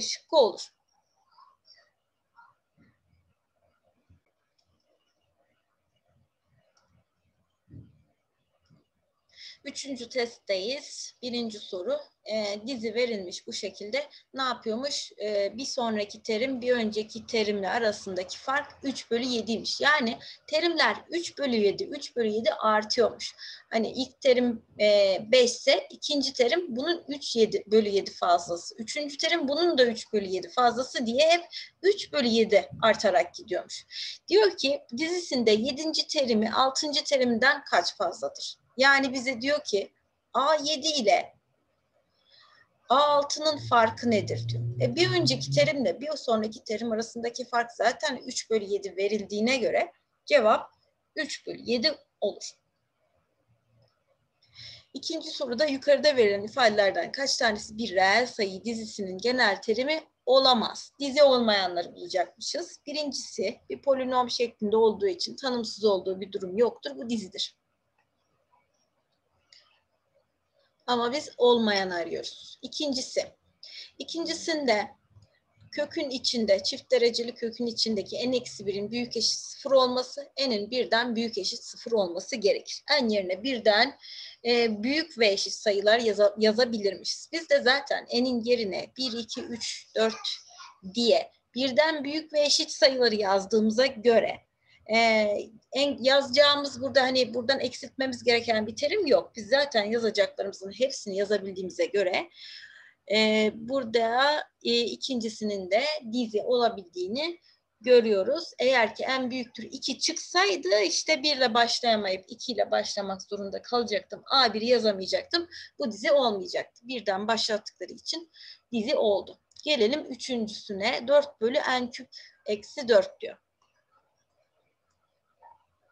N küp eksi 4 n diyor. Aşağıyı 4 e, n parantezine alırsak şunları n parantezini alırsak n küpten n aldım n kare kaldı. Eksi 4 n'den n aldım. Bu şekilde 4 kaldı. Bu şekilde oldu. Sonra aşağıdaki n kare eksi 4'ü 2 kare farkıyla e, çarpanlara ayırırsak şöyle n eksi 2'ye n artı 2 diye çarpanlara ayrılır. Bir güzel n küp eksi 4 n'i çarpanlara ayırdım. Şimdi bunu sıfır yapan değerlerde n sıfır bulundu. Burada sıfıra eşitlersem n'i 2 bulurum. Bunu sıfıra eşitlersem n'i eksi 2 bulurum. Sakıncalı olan n'in 2 olması durumudur. Çünkü n yerine 2 yazıp a2'yi hesapladığım zaman sonuç reel sayı olamıyor. Paydayı sıfır yapıyor burada n yerine 2 yazdığım zaman. 2'nin küpü 8 eksi 8 sıfır yapıyor. Dolayısıyla a2'yi hesaplayamadığım için bu dizi olamadı. A0 ve A-2'yi zaten hesaplamam.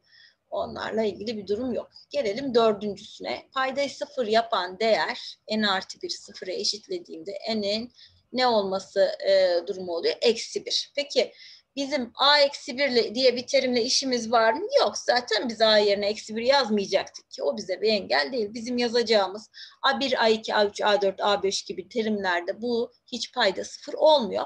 O yüzden bir engel yok. Bu güzel dizi oluyor.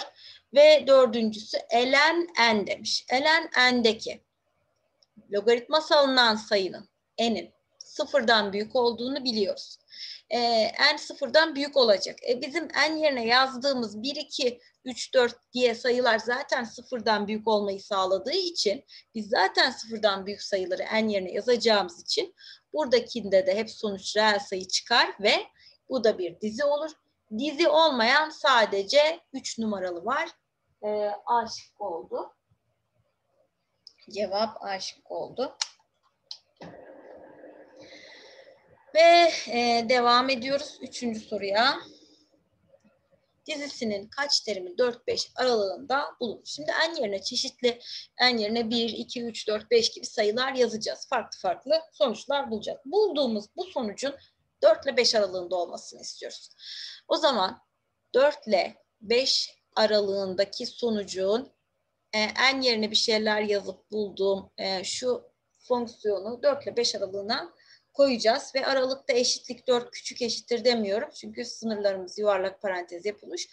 Buradan n'i bulacağız. Bu şartı sağlayan n'i bulacağız. Herkesi 2 ile çarpıyorum önce. Sonra herkesten 1 çıkarıyorum ve n'in olması gereken aralık bu oldu. n tam sayı olarak bu aralıkta sadece 8 oldu. Demek ki ben n yerine 8 yazıp a8'i hesapladığımda sonuç 4-5 aralığında bulunuyormuş. Kaç tane terim için bu durum oldu? Bir tane terim için oldu. Demek ki cevap B'miş.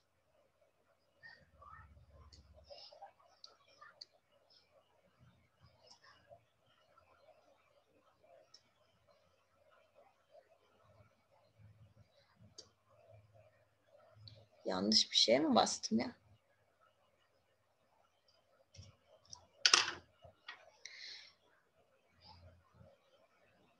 Pardon.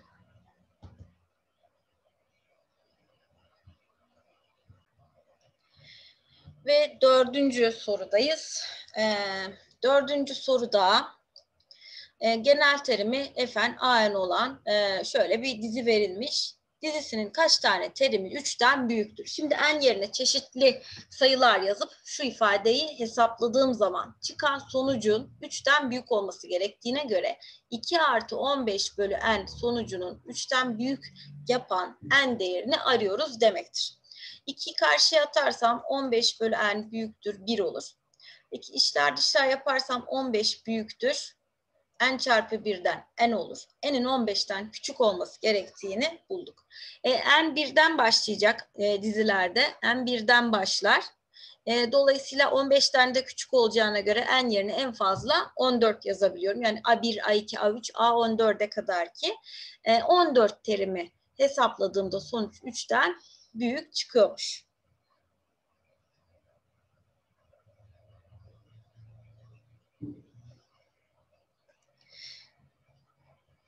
Beşinci sorudayız. Böyle bir dizi var. A6 eksi A5 bölü A4 artı A3 bize sorulmuş. Şimdi önce A6'yı hesaplayacağım.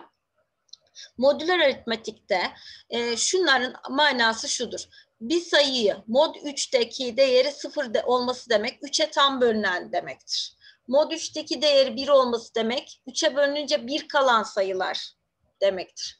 Mod 3'teki değeri 2 olması demek e, 3'e bölününce 2 kalan sayılar demektir. O zaman 6 sayısını düşünün. A6'daki 6 3'e bölününce 0 kaldığı için 6'yı buradan hesaplamam lazım. Burada n yerine 6 yazmam lazım. Yani burada n yerine 6 yazalım. n yerine 6 yazarsak ne olur burası? 3 üzeri 6 eksi 1 yani 3 üzeri 5 ve artı 1. Aşağıdan artı 1. Bu olur. A6'yı bulduk. Eksi A5 diyor. A5'i hesaplamak istiyorum ama hangi modüllere, mod 3'e göre ne olacak bunu bulmak için 5'i 3'e bölerim.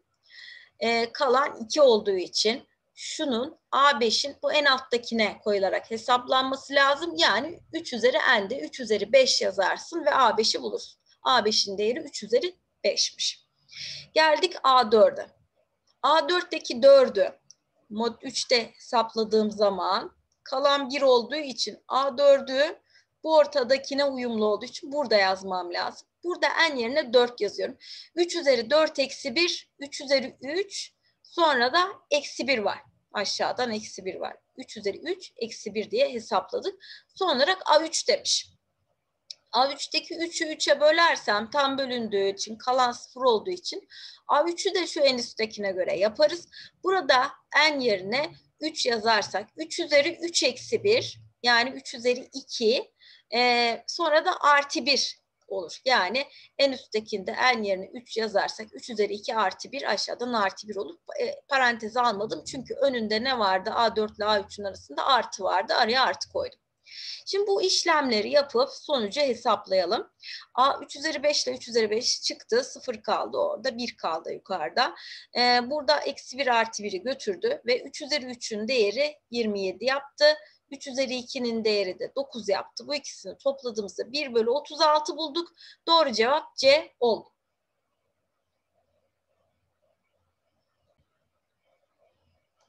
Altıncı sorudayız. Dizisinin üçüncü terimi kaçtır diyor.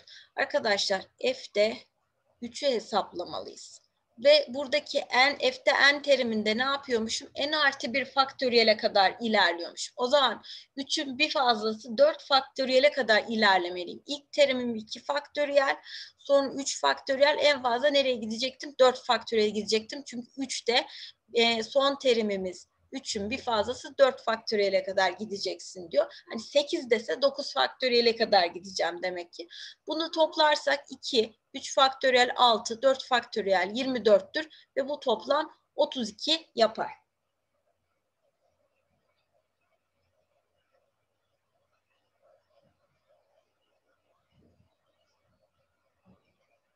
Yedinci soruda dizisinin kaç terimi tam sayıdır diyor. Bunu tam e, kısımlı bir şekilde öncelikle yazmalıyız. E, bunun için 4n eksi 10'u n artı 1'e böleceğim. Tam sayılı kesil olarak yazabilmem lazım çünkü.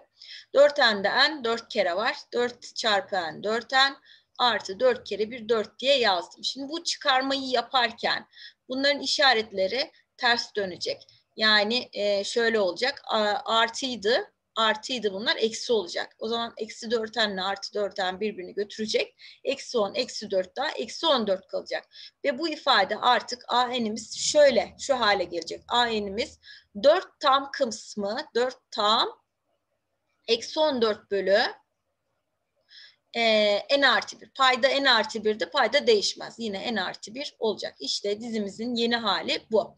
Şimdi bu hale getirdiğimizde tam sayı dediğinde bu hale getirmemiz şart. E, çünkü 14'ü bölebilen sayılar buraya n artı 1 yerine yazılırsa sonuç o zaman tam sayı çıkar. Bundan dolayı bu hale getirmeliyiz. Şimdi n yerine ben her, her şeyi yazamıyorum. Çünkü n birden başlayacak. n yerine bir yazarsak bir bir daha burası 2 olur. n yerine bir yazabilirim yani. n yerine ama 2 yazsam burası 2 bir daha 3 oluyor. 14 bölünmüyor. O zaman n yerine arkadaşlar 6 yazabiliriz. Çünkü 6 bir daha 7 olur ve 14 7'ye bölünür. Ve e, son olarak n yerine 13 yazabiliriz. 13 bir daha 14 olur paydamız. 14 14'e bölünür. Bunların negatiflerini falan yazamıyoruz. Çünkü biliyorsunuz AN dizilerimizde n indisimizin yerine sadece pozitif doğal sayılar yazılabiliyor. E, kaç terimi bu e, sonucu tam sayı yapıyormuş? 3 terimi sonucu tam sayı yapıyormuş.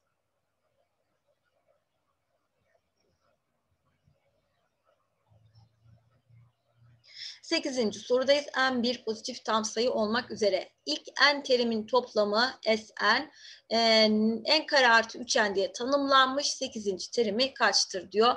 Bize A8'i soruyor. Şimdi arkadaşlar ilk n terimin toplamında ilk 8 terimin toplamını şu şekilde gösterebilirim. İlk 8 terim A1 artı A2 A3 sonra toplamaya devam edersek A7, A8, X8 terimin toplamı S8 bu şekilde gösterilir. Ve bunun değeri de şurada n yerine 8 yazarsam 8 artı 3 çarpı 8 diye e, tanımlanmış. 64 artı 24 88 şeklinde tanımlanmış.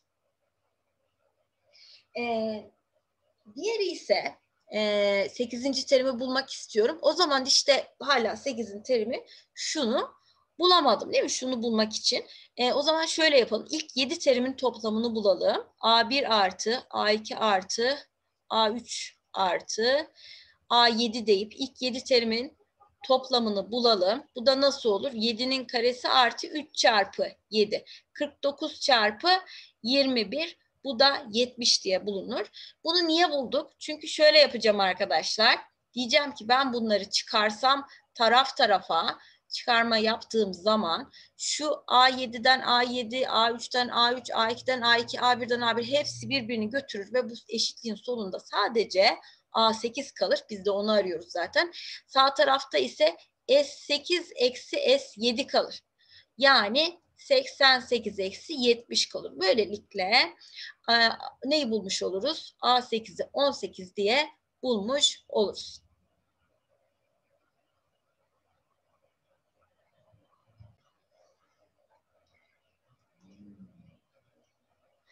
Ve dördüncü teste geçiyoruz. Birinci soru böyle bir dizi verilmiş. Sabit dizi olduğuna göre şu kaç diyor. Sabit dizi olmasından dolayı önce bir enlerin e, alt alta gelmiş bir kontrol et. Evet enlerin katsayıları 3 bölü 5. Eşit olacak. Sabitler 9 bölü k artı 2. E, buradan bir şeyi bulalım. K'yı bulalım. Şöyle yapabilirim. 3'ü 3 ile çarpınca 9 buldum. 5'i 3 ile çarpınca 15. K artı 2 buldum diye yapabilirim. Mesela bu, bu 3 ile çarpınca 9 oluyor. Bu da 3 ile çarpınca 15 olur. K artı 2 15'tir diyebiliriz. İşler dışlarla da aynı şey olurdu. K'yı buradan 13 buldum. K'yı 13 yazacakmışım. Şimdi bana diyor ki e, A 59 çarpı K değeri nedir? Şimdi öncelikle burada K yerine bir 13 yazalım. Ne elde ediyoruz? Bir bulalım. 3N artı 9 bölü 5N artı K yerine 13 2 daha 15 13 yazınca 15 oluyor. Ve bu sadeleşmeyi yaptığımda burası 3 bölü 5 oluyor. Ve nasıl yaptık bu sadeleşmeyi onu da göstereyim. Yukarıyı 3 parantezine aldım. Yukarısı n artı 3 oldu. Aşağısını 5 parantezine aldım. Aşağısı da n artı 3 oldu. n artı 3'ler gidince 3 bölü 5 oldu. N'lerin katsayısı 3 bölü 5 oradan da görürdük. Yani f'n dizimizin sabit değeri 3 bölü 5'miş. F'de 1 de 3 bölü 5'miş. F'de 50 de 3 bölü 5'miş. N yerine ne yazarsam yazayım sonuç 3 bölü 5'miş. O zaman A59'un değeri 3 bölü 5 olur. Bununla K'yı çarpacakmışım. K'da 13 olduğuna göre Bununla 13'ü çarpacakmışım. Çarptığımızda 3 kere 13 39 bölü 5 buluruz. Doğru cevap A olur. İkinci soruda genel terimi bu şekilde verilmiş. A1 6 olduğuna göre A6 nedir diyor. Görüyorsunuz burada ne var? İndirgenmeli dizi var ve e, öncekilerden farklı olarak çarpmalı şeklinde. Yani AN bir önceki terim olan A eksi, e, AN eksi 1'i bulmak için onu bir şeylerle çarpmam gerekiyor. Çarpa çarpa gidiyor. Öbüründe ne yapıyorduk? İşte fazlası, eksiği falan diye yapıyorduk. Ee, şimdi A6'dan başlayalım. Bize sorulan A6'dan başlayalım. A6 eşittir. En yerine 6 koyarsam 2 kere 6 12 bir daha 13 bölü 2 kere 6 12'den 1 çıktı 11 çarpı bir önceki terim A n eksi 1 A5 olur. Şimdi A5'i yazalım. A5 eşittir. 5 yazarsam 2 kere 5 10 bir daha 11 bölü 2 kere 5 10'dan 1 çıktı 9 çarpı bir önceki terim A5'in bir önceki terimi A4. Nokta nokta yapıyorum. Sonra A2 için yazıyorum. A2 için en yerine 2 yazarsam 2 kere 2 4 bir daha 5 bölü e, 2 kere 2 4'ten 1 çıktı 3 çarpı bir önceki terim A1 oldu. Şimdi e, daha öncekilerde taraf tarafa ne yapıyorduk? Topluyorduk. Burada terimler hep çarpma e, şeklinde yaptıkları için burada arkadaşlar taraf tarafa çarpma yapacağız. Yani şu şekilde e, soldakileri taraf tarafa çarparsak A2 çarpı A3 çarpı A4 e, çarpı A5 çarpı A6 diye buradakilerin hepsini çarparız. Sağdakilerini de çarparsak 13 bölü 11 çarpı 11 bölü 9 çarpı nokta nokta Aradakilere nokta nokta diyorum. Çünkü bu arada nokta noktalar var. 5 bölü 3 ve AN'leri çarptığımda da A5, A4, A3 diye A5 çarpı A4 çarpı A3, A2 ve A1 diye gider. Şimdi bu çarpmayı yaptığımız zaman bakın sadeleşme oluyor. A, e, A6 sadeleşmiyor ama A6'dan önceki A5, A4, A3, A2 buradaki A5, A4, A3, A2'yi sadeleştiriyor.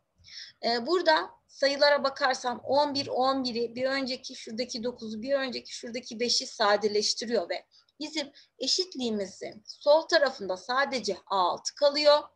Eşitliğimizin sağ tarafında ise 13 bölü 3 ve A1 kalıyor. 13 yukarıda aşağıda 3 ve A1 kalıyor. A1'in değerini bize vermişlerdi. A1'in değeri 6 demişlerdi. Yerine 6 yazarsak A6 13 bölü 3 çarpı 6 ile bulunur. Bu da 6 ile 3 sadeleşirse 13 çarpı 2'den 26 olur. Ve A6'nın değeri 26'ymış. Ne yaptık? Taraf tarafa çarptık. Üçüncü sorudayız. Fn, EGN, TN diziler bu şekilde verilmiş. Gördüğünüz gibi TN dizisi hem F'e hem de G'ye bağlı olarak verilmiş. TN dizisinin ikinci terimi soruluyor. Yani T'de 2 bize soruluyor. T'de 2'yi burada n yerine 2 yazarak şöyle hesaplarız. Ee, n yerine 2 yazınca f'de 2 artı 1 bölü g'de 2 şeklinde olur. Demek ki f'de 2'yi hesaplamalıyım. f'de 2'liyi burada hesaplarsam 2 kere 2 4 1 çıktı 3 diye hesaplarım. Ee, şurada da g'de 2'yi hesaplarsam G'de 2 hesaplarsam 3 kere 2 6 2 daha bunu da 8 diye hesaplarım. Yerlerine yazıyorum. F2 yerine 3 yazıyorum. G2 yerine 8 yazıyorum. 4 bölü 8 oluyor. Sadeleştirirsem 1 bölü 2 oluyor. 4 cevap E oldu. Dördüncü soruda şöyle e, trigonometrik e, diziler verilmiş hangisi sabit dizidir diyor. Sabit dizinin tüm terimlerinin aynı olması lazım. Bir bakalım şöyle en yerine 1, 2, 3 falan yazalım. Hep aynı mı çıkacak? Burada e, en yerine 1 yazarsak pi bölü 2 yani sinüs 90 buluruz. n yerine 2 yazarsak ikiler gider sinüs pi. Yani sinüs 180 buluruz. Devam etmeme bile gerek yok. Sinüs 90 ve sinüs 180 değerleri farklıdır. Sinüs 90 1 yapar. Sinüs 180 0 yapar. Her terimi aynı olmadığı için birincisi ne olmadı? Sabit dizi olmadı. Sabit dizi olmadı. Gelelim ikincisine. Ee, n yerine 1 yazarsam tanjant pi bölü 2 yani 90 oluyor. n yerine 2 yazarsam e, tanjant 2 pi bölü 2 yani tanjant pi tanjant 180 oluyor. Yine bunda da tanjant 90 dediğim zaman e, neyi buluyorum? Tanımsız bir değer buluyorum. Tanjant 180 e, dediğim zaman ise sıfır buluyorum. Hep aynı terim falan bulmuyorum. Her bir terimin sonucu farklı oluyor. Dolayısıyla bu da sabit dizi olamadı. Eksi 1 üzeri 2n artı 5. 2n artı 5'te n de çeşitli sayılar yazdığımız zaman 2n artı 5'in sonucu hep tek çıkar. Çünkü 2n 2 ile çarpıldığı için çifttir. Bununla 5'i yani tek bir sayıyı toplarsak sonuç hep tek çıkacağı için bu ifade eksi 1 üzeri tektir. Eksi 1 üzeri tek de hep eksi 1 yapar. En yerine ne yazarsam yazayım. Hep eksi 1 olacağı için bu üçüncüsü bir sabit dizidir. Gelelim dördüncüsüne. Kosinüs NP diyor. N yerine 1 yazarsam kosinüs pi yani cos 180'i bulurum. N yerine 2 yazarsam kosinüs 2 pi yani kosinüs 360'ı bulurum. Cos 180 eksi 1 yaparken cos 360 artı 1 yapıyor. Farklı değerlere ulaşıyorlar. O yüzden bu da ne olmadı? Sabit dizi olmadı. Her bir terimi aynı olmadı. Sadece üçüncüsü sabit dizi oldu. Beşinci soruda şöyle bir dizinin kaç terimi negatiftir diyor. Sonucun negatif olması için n'in kaç olduğunu bulmam lazım. O yüzden önce bir çarpanlara ayıralım. n kare eksi 6 n eksi 16'yı 8 kere 2 eksiye artı diye çarpanlar ayırsam. Çarpınca eksi 16'yı toplayınca eksi 6'yı verdiği için e, bu çarpanlara n eksi 8'e n artı 2 diye ayrılır. Aşağıda da 4n eksi 3 var. Bunun küçük sıfır olacak şekilde tablosunu yapacağız. Tablomda küçükten büyüğe köklerimi yerleştirmek istiyorum. Bunun kökü 8. Bunun kökü eksi 2. Bu 4n eksi 3'ün kökü de 3 bölü 4 olarak küçükten büyüğe tabloma yerleştirdim.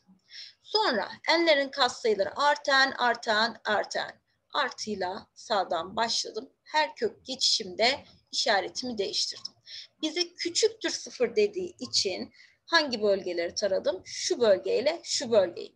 N'in e, eksi 2'den küçük olması durumunda ve N'in 3 bölü 4 ile 8 aralığında olması durumunda sağlanıyormuş. Ama bizim N'imiz zaten e, eksi 2'den küçük olmaz. Dizilerde N pozitif olur birden başlar.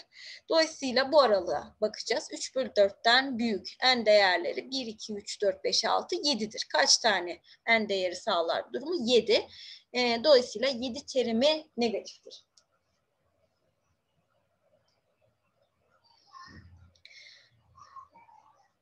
Altıncı sorudayız. Bir Efen dizisinde AK, 2K koşulunu sağlayan terime antika terim denir. Böyle bir şey e, oluşturmuşlar, tanım yapmışlar. AK 2K'yı n cinsinden yazarsak n 2n diye gibi şeklinde yazabilirim değil mi? Yani illa ki K harfi olacak diye bir şey yok. E, tanıdık olsun, bizim bildiğimiz şekilde olsun. İndisin iki katına gidiyormuş. E, buna göre an eşittir n kare eksi 3 dizisinin kaçıncı terimi antika terimdir? Yani kaçıncı terimi n'in iki katına gider. Bunu demek istiyorlar. Dolayısıyla hepsini aynı tarafa alıp çarpanlara ayırıp bunu sağlayan en değerini bulacağım.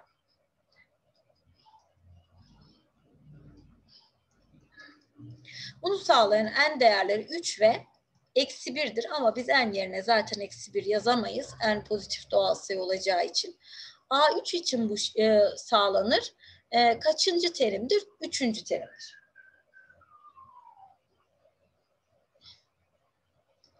Yedinci soruda şöyle bir logaritma n artı 3 tabanında n artı 4 dizisinin ilk 12 teriminin çarpımını söylemiş.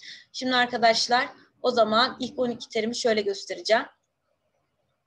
Logaritma n yerine e, 1 yazarsam 1, 3 daha 4 olur tabanımız. 1, 4 daha 5 olur. En yerine 1 yazarak başladım. Çarpacakmışım. Logaritma en yerine 2 yazıyorum. 2, 3 daha 5 çarpı 2, 4 daha 6. Bir de 3 yazalım. En yerine 3 yazıyorum. Logaritma 3, 3 daha 6. Ee, burada da 3, 4 daha 7 diye gidiyor. Ve son terimimiz en yerine 12 yazıyorum. Logaritma 12, 3 daha 15 tabanında 16 diye oluyor. Bunlar bu şekliyle sadeleşmez. Hepsinin tabanı farklı. Ama ben bunların hepsini 10 tabanına alsam yani log 5 bölü log 4 çarpı logaritma 6 bölü logaritma 5 istediğim tabana alıp bu şekilde yazabiliyordum. Log 7 bölü log 6 diye. Bu halde yazsam o zaman işte sadeleşme imkanı doğar. Sadeleştirmeyi de şu şekilde yatay şöyle bir önceki bir sonrakiyi götürecek şekilde yaparsak log 16 bölü log 4 kalır. Ee, bunda log 16'yı logaritma 4'ün karesi diye yazarım. Hatta o iki kat sayısını da öne düşürüp 2 log 4 yazarım. Aşağıda da log 4 vardı. Bu log 4'ler sadeleşir ve bize 2 kalır. Bu çarpımın sonucu neymiş? 2'ymiş.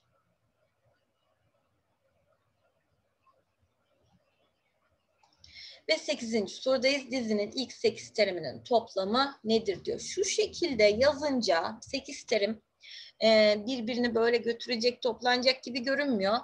Ama ben burada eşlenik çarpımı yapmak istiyorum. Yani arkadaşlar önce büyük terimi yazacağım. Kök içinde n artı 1 artı köken diye yani şu büyüğü önce küçüğü böyle yazdım. Toplamada böyle de yapabilirim. Ve daha sonra ne yapacağım biliyor musunuz? Eşlenik çarpım yapacağım.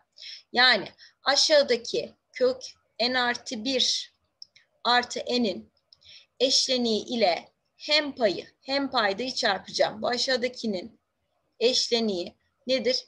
Kök n artı 1 eksi kökendir değil mi? Aynısının eksilisidir bunun eksilisidir. Bunun eksilisiyle hem aşağıyı hem yukarıyı çarpacağım. Böyle yaptığım zaman yukarısı kök içinde n artı 1 eksi kök içinde n olurken aşağıda iki kare farkı oluşur. Ve birincinin karesi n artı 1 eksi ikincinin karesi n diye bir şey olur. Biri, ne yaptım? İki kare farkı birincinin karesi eksi ikincinin karesi. Yukarısı kök n artı 1 eksi kök n'ken aşağıda n'ler birbirini götürür ve sadece bir kalır. Ve bizim dizimiz şöyle daha güzel bir hale gelir. an dizisi eşitmiş kök n artı 1 eksi kök n. Şimdi ilk 8 terimi toplayabilirim. Çünkü n yerine 1 yazarım. Kök 2 eksi kök 1 bulurum. n yerine 2 yazarım. n yerine 2 yazınca 2 bir daha burası kök 3 olur. Burası kök 2 olur n yerine 3 yazınca bu kök 4 olur. Bu kök 3 olur. Böyle böyle n yerine 8 yazınca kök 9 eksi kök 8 olur. Ve ben bunları taraf tarafa e, toplarım. Çünkü ilk 8 terimi topla demiş. Alt alta yazıp topladığımız zaman A2, kök 2'ler, kök 3'ler, kök 4'ler herkes bir öncekinin eksilisiyle birbirini götürür ve kök 9 eksi kök 1 kalır. Bu da 3 eksi 1'den 2'dir ilk 8 terimin toplamı 2 bulundu.